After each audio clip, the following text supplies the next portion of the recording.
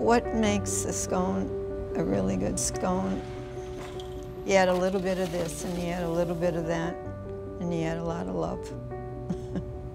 From the time I was a little girl, I loved baking. We opened up our first little cafe.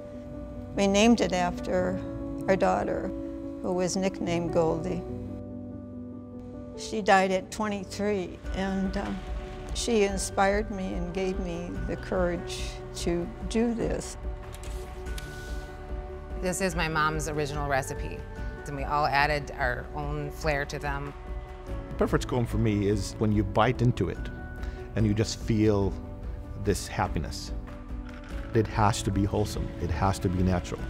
I just believe in fresh ingredients and all natural ingredients. That's just how I was taught.